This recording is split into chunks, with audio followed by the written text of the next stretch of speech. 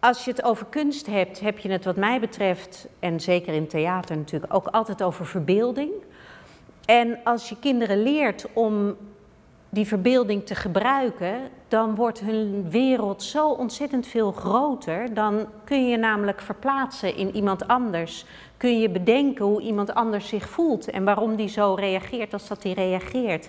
Kun je de wereld mooier denken dan dat die misschien op dit moment is. En kun je dingen bedenken die er nog helemaal niet zijn.